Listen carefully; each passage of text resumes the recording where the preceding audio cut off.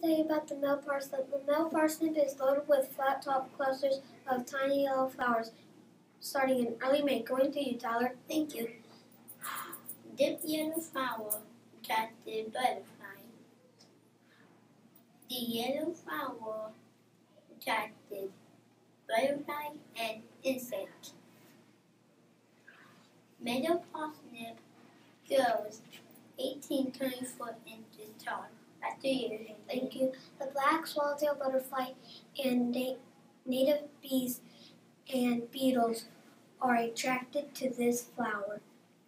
Back to you, Tyler. Thank you.